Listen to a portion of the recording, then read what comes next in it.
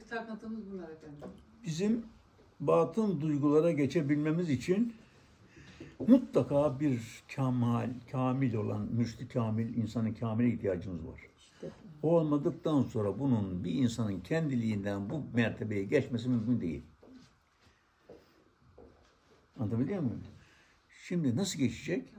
Evvela zikirden başlıyorsun. Zikir anmaktır.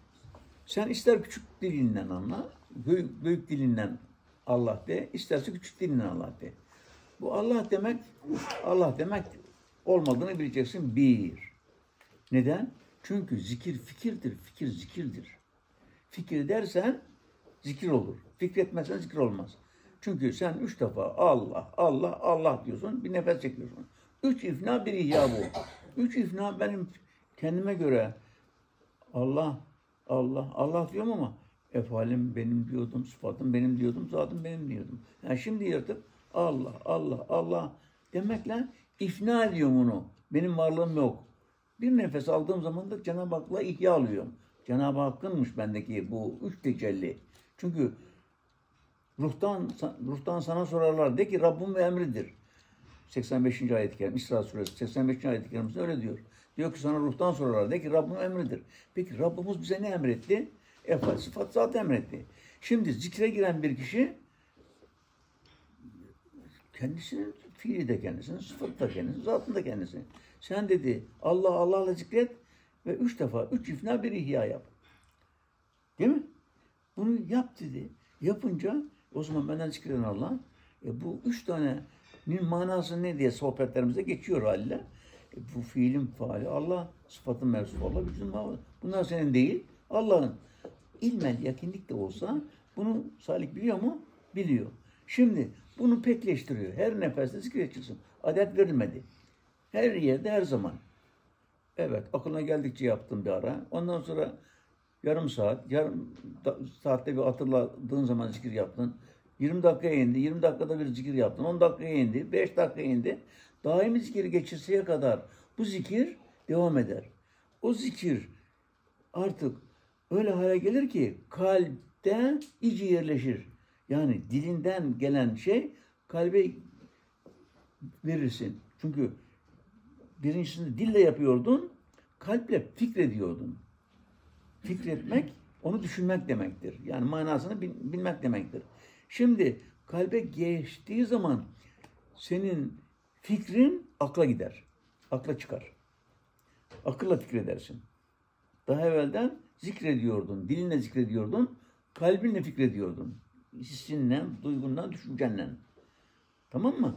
Yapıyordun. Şimdi ise zikir öyle alışkanlık hale geldi sana, sen kalbe alıştırdın. Ben onun için diyorum kardeşlerimiz üç defaya kadar kendisini denesin. Benim kalbim daimi zikre geçti mi geçmedi mi? Kendisi aklıyla, işinde, gücünde olur. Bir an kendisine bir dönsün. Kalbi zikirde mi? He, zikirde. Anmasın. Tekrar aynı şekilde gene belirli bir zaman sonra tekrar kalbini yoklasın. Gene zikir yapıyor. Devamlı zikirde. Ha, ikinci yoklamada da zikirde. Gene kalmasın. Üçüncüsünde de yaparsa heh, o zikire geçmiştir. İşte onun fikri artık akla çıkar. Akılla fikredecek. Yani zikir kalp devamlı tokmağa vuruyor ama fikir de nerededir? Artık akıldadır. Akılın da bunu takip etmesi lazımdır. Zikir ve fikir olduktan sonra kişi ne yapacaktır? Fiilin fail Allah. Bak şuhudu kullanacak. Şuhutları var. Rabıtası var. Rabıta bağ demektir. Artık o kişinin ta bekada zat tecellisi mi, sıfat tecellisi mi bunları düşünmesi yalnız zaten.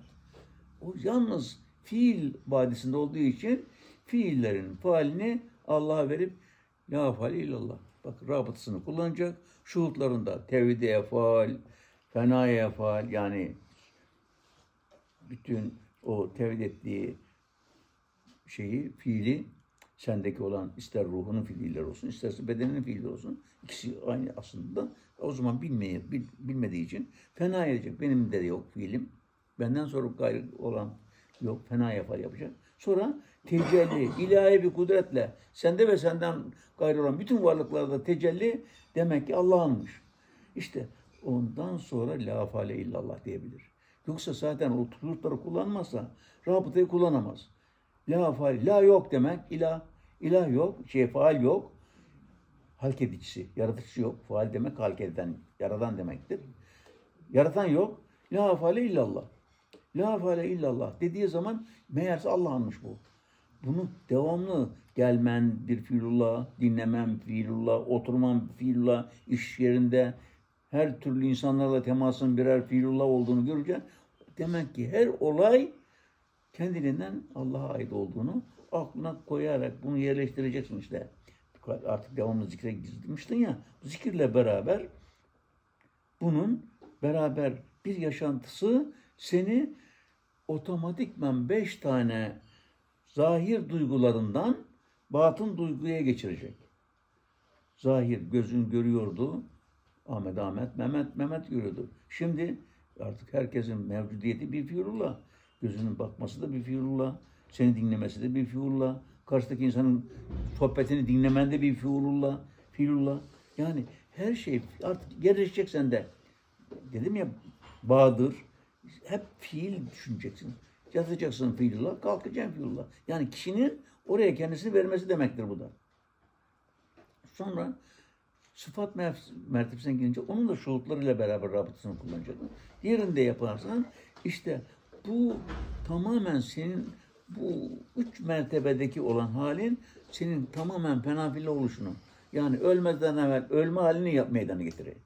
Ama dediğim gibi zikirden ve rabıtalardan sonra ancaksın sende muazzam bir değişiklik olduğunu göreceksin. Ama biz sen bunları ilimle yaparsan değişiklik olmaz.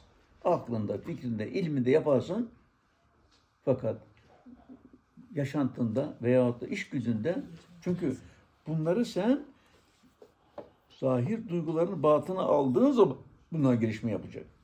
Batın duygularda hissi müşterek var. Yani müşterek olan bütün duyguların yekunu batındaki olan gönüldeki sağlanmasıdır, gönülde yaşanmasıdır. Anlatabiliyor muyum? E, düşünmen, hissin, duygun bunların şeysidir, şubeleridir.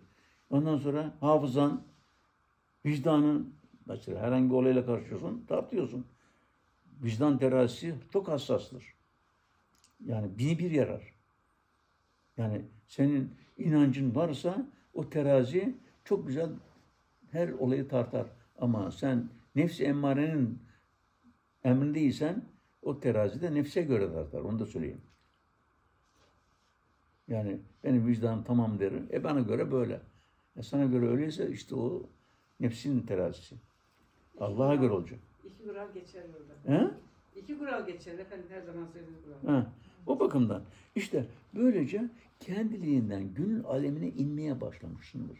Gönül alemine indikten sonra da senin zikirlerin sende zaten kalpte devam ediyor. İdrakın, aklım Allah, fikrim Allah, zevkim Allah, şevkim Allah, kalbim vur, kulp Allah.